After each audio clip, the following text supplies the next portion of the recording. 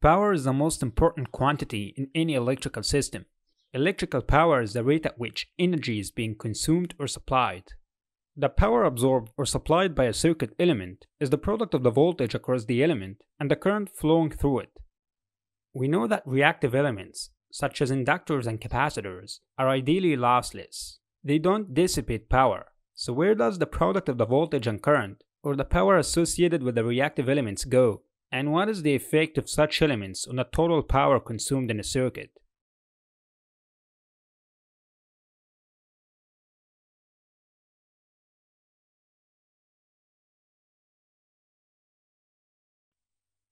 If we have a series RC circuit with capacitor initially discharged, by applying a step input voltage signal, at first the voltage across the capacitor is zero, hence the current flowing in a circuit is equal to the voltage across the resistor divided by the resistor value. That current charges up the cap, increasing the voltage across it, and lowering the voltage across the resistor, hence lowering the current. The capacitor keeps charging until the voltage across it becomes equal to the source and the current is zero. At that point of time, we can treat the cap as an open circuit. If the source voltage is varying sinusoidally with respect to time, Initially, the cap voltage is equal to zero, and the voltage across the resistor is equal to the source voltage. That voltage generates current, charging up the cap so that the voltage across it follows that of the source. Since the source is time varying, the cap voltage never reaches it, unless at a certain point after the source reverse direction. That point represents the maximum voltage amplitude across the cap. After that point, the voltage across the cap is higher than that of the source, so the voltage difference across the resistor reverse direction, and the current now is flowing from the capacitor to the source, discharging it and lowering the voltage across it to follow the source voltage. The cap voltage reaches the source again at the minimum cap voltage amplitude after the source reverse direction. After that point, the source voltage is higher than that across the cap, so the voltage difference across the resistor returned back to be positive, and the current flowing through the capacitor charges it up to follow the source. The capacitor keeps charging and discharging to keep following the source voltage. Now, how about the power dissipation? From the graph you can see that the voltage across the resistor and the current flowing through it are always in phase. Although they reverse direction each half cycle, they reverse direction with each other. Whenever the voltage changes polarity, the current reverses direction at the same time, so there is always power dissipated in it. The product of the voltage and current is always positive. For the case of capacitor, from the graph the voltage and current are 90 degrees out of phase. Whenever the voltage across the cap is zero, the current is maxima, and whenever the voltage is maximum, the current is zero. So there are some intervals at which the current and the voltage across the cap are having the same polarity, positive and negative together. At these intervals, the cap is absorbing or storing power. There are some other intervals at which the voltage and current have opposite polarities. Voltage is positive and the current is negative, and vice versa. At these intervals, the power is negative the capacitor is delivering the stored power back to the circuit. So capacitors dissipate no power. The power is stored and delivered back to the circuit and continue going back and forth between the source and the cap. This is called instantaneous reactive power, a power that continuously bounces back and forth between the source and the load. As the name suggests, Reactive power is associated with reactive elements, inductors, and capacitors. The power dissipated in a resistance is called active power, instantaneous active power. Since they are time varying, we call them instantaneous active and reactive powers. We prefer to use the average values of power. In fact, power meters measure only the average value of power. So when we say active and reactive power, most probably we are referring to the average values. Otherwise, we will say instantaneous explicitly. The instantaneous power across the whole impedance is the sum of both, and is equal to the voltage across the whole impedance times the current flowing through it. The voltage across the impedance is the sum of the two voltages across the resistor and the capacitor, which is equal to the source voltage. From the graph you can see that the most of the time the voltage and current have the same polarity, meaning the power is dissipated and stored in the resistance and reactance, respectively. There is some amount of time at which the current and the voltage have opposite polarities, meaning the impedance is delivering the stored power and the reactance back to the source. If we apply a sinusoidal voltage with some frequency across a capacitor, the current flowing in the circuit is governed by the impedance of the capacitor from Ohm's law. Impedance of the cap is a pure imaginary frequency dependent quantity called reactance. Minus J means the current leads the voltage by 90 degrees. As you can see from the graph, 90 degrees of phase shift between the current and the voltage across the cap makes the product of them oscillating between positive and negative. That means the cap doesn't dissipate power. It stores some amount of power, then deliver it back to the source, and the power keeps going back and forth between the source and the cap. Same thing applies for inductors with positive J the reactance, meaning that the voltage leads the current by 90 degrees. Unlike the case of inductors and capacitors, the current flowing in a resistor is governed by a real quantity called resistance, hence the current is a scaled version of the voltage. There is no lead or lag. The voltage and current across the resistor are in phase, making the product of them always positive, so resistors dissipate power. In general, impedance is a complex quantity consisting of real and imaginary parts, resistance, and reactance. Impedance can be represented in a complex plane using the rectangular or polar form.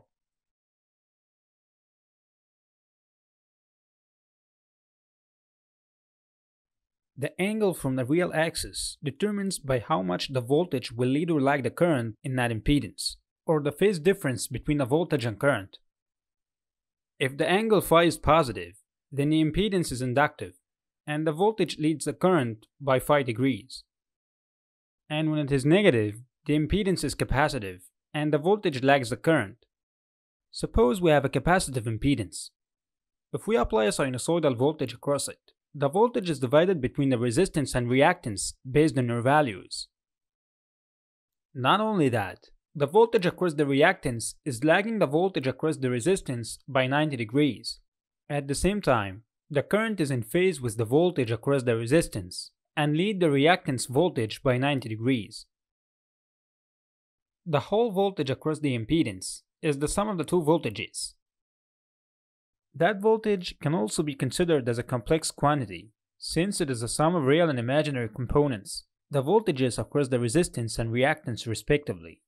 The imaginary voltage component is just a voltage with 90 degrees of phase shift from the real one. From the graph you can see that the voltage across the impedance is lagging the current by 5 degrees determined by the impedance. Notice that in this circuit, the current is always in phase with the voltage across the resistance. The power delivered by the source is the sum of the two powers associated with the resistance and reactance. The current times the voltage across the resistance, and the current times the voltage across the reactance. The power associated with the resistance is always positive or dissipated, since the voltage and current are in phase. Unlike resistance, the reactance doesn't dissipate power. It stores and delivers it back to the circuit, since the voltage and current are out of phase by 90 degrees. The power dissipated in the resistance is called active power, or real power, while that associated with the reactance is called reactive power. Depending on the amount of phase difference between a voltage and current, the amount of active and reactive powers would change. The phase difference between the voltage and current is determined by the impedance. The instantaneous power is equal to the instantaneous active power when the phase difference is zero, the impedance is fully resistive, and is equal to the reactive power when the phase difference is 90 degrees positive or negative. The impedance is pure reactive, inductive or capacitive. Notice that the allowed range of phase angles we can change the impedance is from minus 90 to 90 degrees, the right half plane, because other than that, the impedance is having a negative real part, a negative resistance. At the negative resistance region, left half of the complex plane, the active power is negative, meaning delivered to the circuit from the resistance, not dissipated in it, and hence the instantaneous power is shifted down.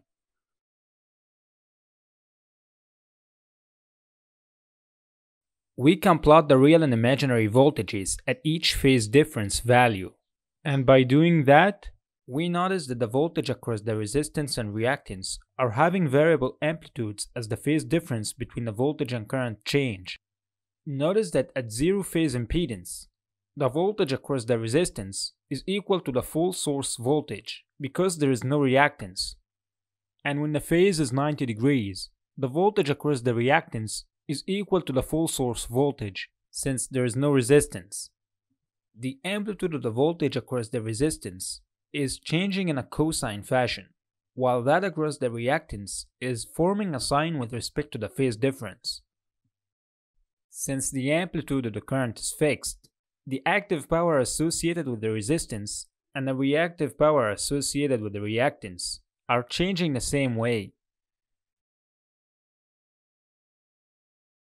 The real power is changing in a cosine fashion with respect to the phase difference between the voltage and current, while reactive power is changing as a sine. Recall that for positive real part of the impedance, positive resistance, the impedance should lie in the first or third quadrant. The phase angle is between minus 90 to 90 degrees. The whole instantaneous power associated with the whole impedance, which is the sum of both instantaneous active and reactive powers, is shifting up and down in a cosine fashion with respect to the phase change. We will see why in a minute. It is just riding on top of the average active power. This is not a complete picture. It will be clear later in this video when we mention complex power, but just keep in mind that this is just the real part of the complex power. Now let's show the whole picture. For the same circuit, by changing the load impedance phase while the magnitude is constant, the values of the resistance and reactance are changing as a cosine and sine with respect to the phase respectively. Notice that the resistance is the real part of the impedance, while the reactance is the imaginary part. The magnitude of the impedance is fixed. We are just changing the phase, so the amplitude of the current flowing through it is constant. Hence, the voltage amplitude across the impedance is divided or changing the same way across the resistance and reactance. The voltage amplitude is a complex quantity, just like the impedance. The real part is across the resistance, while the imaginary part is across the reactance and is shifted 90 degrees of phase from the real part. Notice that when the real part of the voltage is increasing, the imaginary part is decreasing and vice versa, so the whole voltage amplitude is constant. The current is forced to be in phase with the real part of the voltage, so in this circuit, the current has only real component. Power is the voltage times the current, the current times the real part of the voltage, and the current times the imaginary part. The real part of the voltage is always in phase with the current, so the power associated with it is always positive, active power, or real power. The power associated with the imaginary part is reactive, since the voltage and current are out of phase by 90 degrees as we saw earlier. Notice that when the phase difference between the voltage and current is zero, the reactive power is zero, since there is no reactance the impedance is fully resistive. As the impedance phase change, the active and reactive powers change. Active power change as a cosine and reactive power change as a sine as you can see from the graph. This is known as complex power, a complex quantity containing the active power as a real part and reactive power as an imaginary part. Notice that when I say complex power, I mean the average value, not an instantaneous. From the graph you can see that the complex power is rotating in the complex plane as the impedance phase change. This is what expected. It's a complex exponential function of the impedance phase. A complex exponential and from Euler's formula, the real part or the active power is a cosine function of the phase, while the imaginary part or the reactive power is a sine function of the phase. The real power is the average power in watts delivered to a load. It is the only useful power. It is the actual power dissipated by the load. The reactive power is a measure of the energy exchange between the source and the reactive part of the load. Reactive power has unit of volt ampere reactive to distinguish it from the real power whose unit is watt. The magnitude of the complex power is called apparent power. Complex power forms what's known as power triangle in the complex plane. When the phase difference between the voltage and current is zero, the load impedance is resistive, and the power is completely real. As the phase difference change, the apparent power is divided between the resistance and reactance to form the active and reactive power. The active power, or the useful power, is the apparent power times cosine of the phase difference. This term is known as power factor. Power factor is the cosine of the phase difference between the voltage and current, a factor by which the apparent power must be multiplied to obtain the real power, or the ratio of the real power absorbed by the load to the apparent power flowing in the circuit. For the same amount of useful power, a load with a low power factor draws more current than a load with high power factor. For a purely resistive load, the voltage and current are in phase, so the apparent power is equal to the active power. The power factor is equal to 1. For a purely reactive load, the phase difference is plus or minus 90 degrees. The active power is 0 since the power factor is 0. In between these two cases, power factor is said to be leading or lagging. Leading power factor means that current leads the voltage, implying capacitive load while lagging power factor means that current lags voltage, implying inductive load.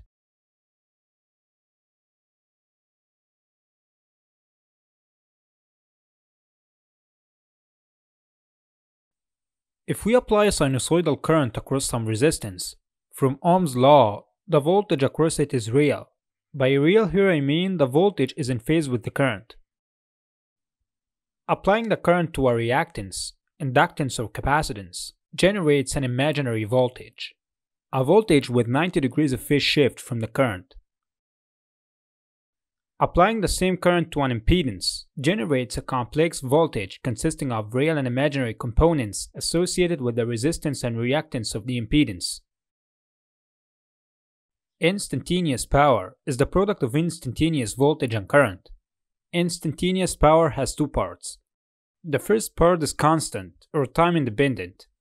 Its value depends only on the phase difference between the voltage and current. The second part is a sinusoidal function, whose frequency is twice the frequency of the voltage or current. The time dependent part is riding on top of the time independent part of the power. The time independent part is the average value of the power and is called complex power. Active power is the real part of the complex power while the reactive power is the imaginary part. Notice that the third axis here is time, not the phase. As the phase difference between the voltage and current change, the complex power rotates in the complex plane while carrying the instantaneous power.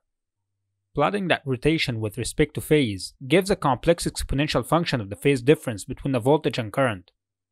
The real part of it, or the active power, is varying as a cosine with respect to the phase difference, while the imaginary part of the reactive power is varying as a sine. For positive resistance, the phase angle should lie in the right half of the complex plane,